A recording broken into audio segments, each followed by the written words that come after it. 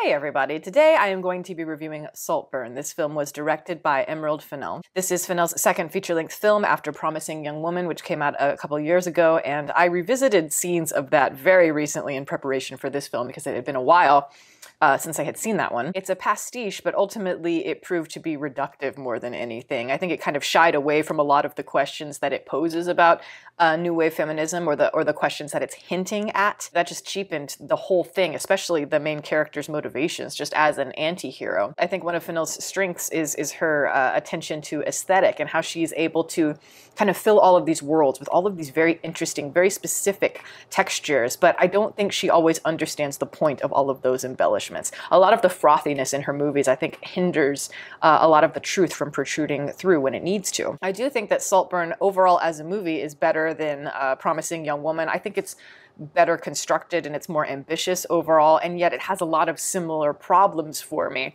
Now, going into Saltburn, I knew that it was going to be very polarizing just because the reactions to this movie have seemed to be all over the place, very colorful, uh, to say the least. Even when I was giving my ticket to the ticket guy uh, when I went to go see this today, he was like, I hear this is supposed to be a wild movie. So you guys know my favorite movies to review or my favorite movies to go into are the ones that are very polarizing, the ones that, that split people. And now after having seen it, I can tell you this is not one of those movies where I thought, what's the big deal? No, it, it totally makes sense why people are um, so confused by it. I will say it's um, it's it's an experience. Nothing at all about it feels clear to me so far as what I feel about it, whether I like it or whether I don't, because I really don't know. And honestly, even with a second viewing, I have no idea what I will think about it. I can see myself liking it a lot less the second time. I can also see myself liking it more a little bit. I actually I can see myself liking it a lot less and a lot more simultaneously. Yeah, at the same time, which is is weird. Both of her films, I want them to be so much better than they actually are, and so much about them make me want to roll my eyes. They piss me off, and yet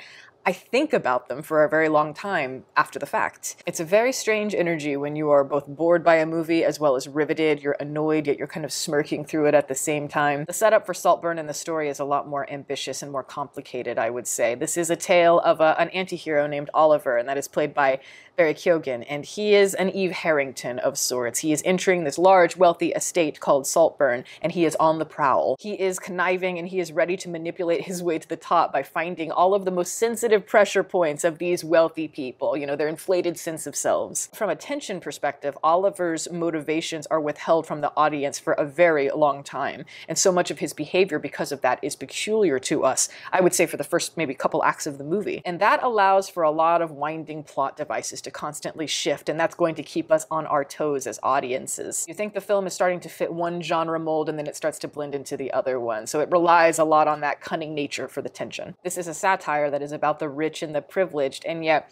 ultimately, the, the emotional center of the film is more about connection or lack thereof through the pursuit of that success. All the power dynamics, the masculine and the feminine, and the way they're twisting and subverting through, all, through physical arousal, this primal rage, all of these bodily fluids that are kind of leaking into this elegant, cold exterior here. This film does have like an art house European type of feel to it, but it's peppered with that wry humor that feels almost like it's from a Coolidge painting, as in like, you know, the pets playing poker, um, the comedy of manners angle. Fennell using those those pastiche elements to be the binding of her overall project, I think can be clever at times, but more just on a superficial level. At other times, it just feels a little bit trite. There's just so many references here that are just on the nose, like The Shining. I'm just really, really tired of all the, the Kubrick references that we see here. They're just so, so tired. The creepy elements that they try to use just feel laughable and not laughable in a chilling way, like, you know, the way that we see in The Shining.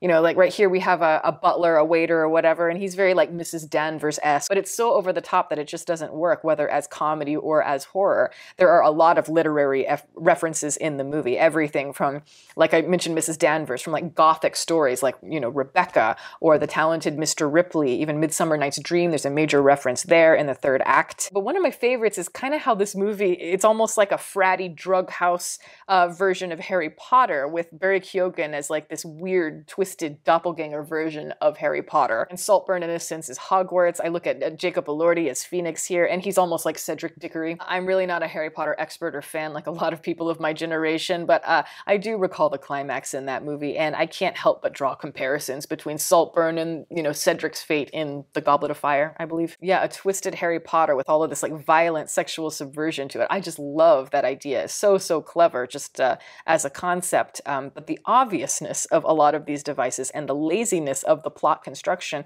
is just really frustrating. And yet there is enough creativity in the packaging of it where I almost admired it. I almost admired how uh, forward everything is, how on the nose everything is. Just the eccentric kind of animalistic humor to it and the lack of social boundaries here. There's something about it that is, yes, awkward and peculiar and intriguing. Again, all of this manipulation and sex and everything doesn't feel rooted in anything concrete. Oliver here is very driven as a character, but it's like, why is he so driven and, and to what end? He slithers through this house and disrupts the order piece by piece and you using the pity and the shame and the ignorance of these rich people against them. It's very clear to me that Fennell was very inspired by Keoghan's performance in Killing of a Sacred Deer, which is a performance that I bring up a lot in regards to Barry Keoghan, just because I think it's one of the great villain performances maybe of the last 10 years. It's just incredible and bone chilling.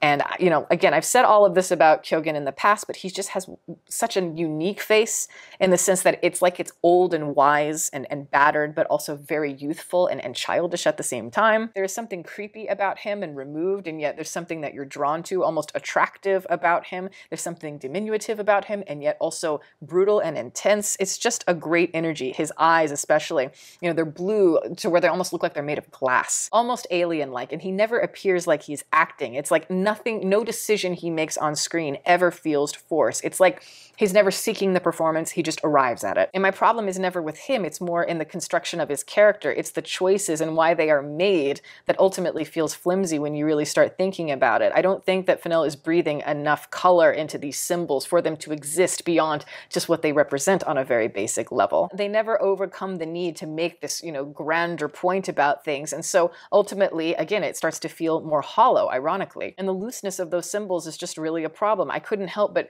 constantly think about killing of the killing of a sacred deer and how Keoghan's character as a function is very similar in that film, but it works in an oversimplified sense in that movie because there's way more cohesion. A lot of the deeper meaning is, is held intact with that film, whereas this feels more like, you know, a skin deep kind of pastiche, funhouse, or whatever, more like a scrapbook of sorts. I don't know if we coined the term scrapbook cinema, but that's what I'm saying for this. Sure, the fact that Oliver is always one step ahead of us and we're really never sure why he's doing what he does, it keeps the audience on their toes constantly throughout the movie. And yet it's just not saying much of anything outside of that other than just like you know, tension building. So when things are revealed, you just feel kind of cheated. And it's like, why withhold that information from the audience? It would make more sense, I think, to build the tension more between Oliver and Felix, or more of the tension between Oliver and the mother there. So more is revealed about him, maybe psychologically, internally. Because the scenes where the characters are making each other uncomfortable, pinning each other down metaphorically or literally, all of that is really interesting because you feel kind of this squirmy, erotic tension. But again, once you have a bigger perspective, the framing of everything just feels like Fennell is overcompensating for something. I've complained about it a lot, but there's just, there's like an academic inflated sense of delusion, I feel like, with a lot of directors these days. And I want them to balance that out with actually, you know, arriving at some truth, some honesty uh, within the, the, the writing. It's like, don't just reuse concepts and images from other greater films just because you can. It's like, really think about what makes that interesting and how can we make that refreshing and you know how can we understand that in a new way? And then just follow that line all the way through. I don't need a lot of exposition. I don't need a lot of these metaphors to be explained for me. I'd rather just see things unfold. And there are great scenes like that in the movie where everything feels very playful and you can almost feel that honesty coming through just from the simplicity of, of the action on screen because it feels almost like it's um improvisational. I think that's achieved very well in the final scene of the movie, and I'm not going to give it away, but you'll know what I'm talking about when you see it. Um, but yeah, there was something just really blissful and wonderful about it, but also cynical in all the right ways, and I just wanted, I guess, a lot more of that. Her instinct to be kind of wild and punk rock, whatever, you know, I think is really great, and I think she can build on it. I do think that she is getting better as a director. She's continuing to engage me, but I still think she has a long way to go. I want her to find the balance between the over-analysis of themes and really applying those in an interesting way. So yes, with this movie, I am going to recommend it, but when I recommend it, it's just be prepared. You may hate it, you might love it, you might feel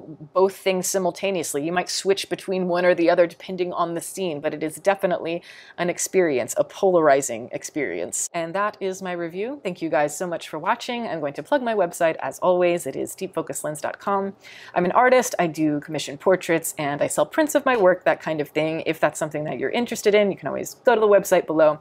And if you have a question about a commission or a print, you can always email me. My email is in the description box below as well. Also, I'd like to give a shout out to my patrons who are fantastic. Guys, thank you so much for your support. Welcome to all the new members. If you are interested in supporting, the link for that is below, as well as the rest of my social media information.